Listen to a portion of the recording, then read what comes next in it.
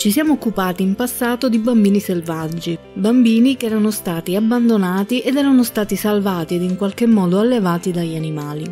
Abbiamo scoperto che esistono davvero centinaia di casi di questi bambini e che in alcuni di questi nessun amico peloso a quattro zampe ha potuto intervenire, mitigando il dolore causato da quello che possiamo definire solo come pazzia umana.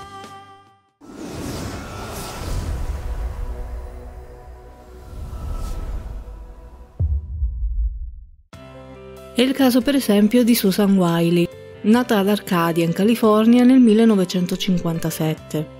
Sua madre, Dorothy, era quasi cieca già prima di sposarsi con un uomo più grande di lei di 20 anni, Clark Wiley, una persona con gravi disturbi di gestione della rabbia e paranoico.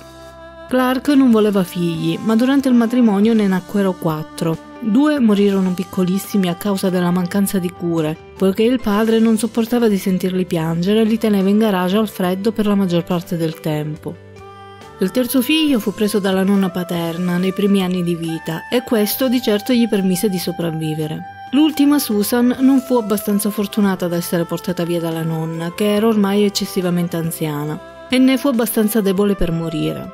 Quando aveva circa un anno e mezzo, il padre si convinse che la figlia fosse ritardata e la chiuse in una stanzetta dove nessuno poteva entrare, con foglie di alluminio alle finestre che non lasciavano entrare il sole ed attutivano notevolmente i rumori esterni.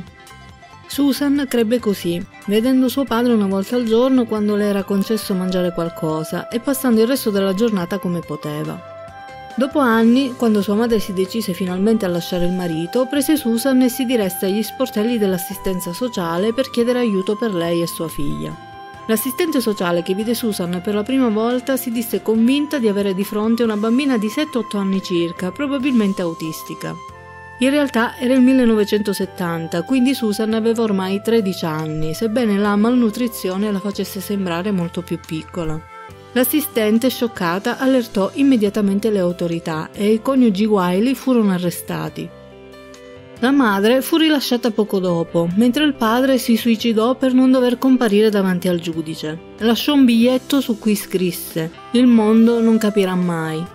Il fratello John, che era andato via di casa da tempo, riferì in un'intervista che aveva capito che in quella casa qualcosa non andava, ma era davvero convinto che sua sorella fosse malata, perché il padre non gli aveva mai permesso di vederla o di passare del tempo con lei, e lui, sentendola lallare come una bambina piccola, non aveva mai dubitato delle parole del padre circa il grave ritardo mentale della sorella.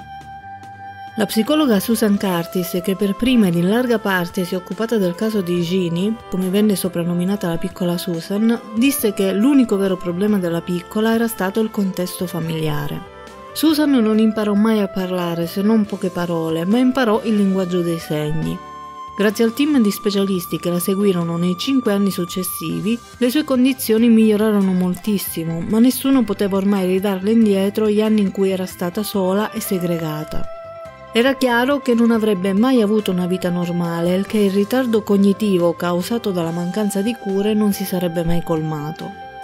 I problemi di relazione a volte ritornavano fuori e quando ormai maggiorenne ritornò a casa dalla madre, questa non riuscì ad occuparsene e dovette rivolgersi nuovamente all'assistenza sociale. Negli anni l'attenzione mediatica intorno al suo caso si spense, tanto che non si sa precisamente dove sia adesso, anche se voci non ufficiali riferiscono che vive in un istituto in California per persone con problemi mentali. Il suo caso è quello di un'incredibile ingiustizia, una vita distrutta per colpa della follia di un uomo che invece avrebbe dovuto occuparsi di lei e dalla debolezza di una donna che avrebbe invece dovuto proteggerla.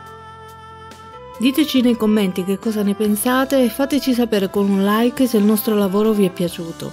Iscrivetevi al nostro canale e seguiteci sui social network, trovate tutti i link qui sotto nella descrizione.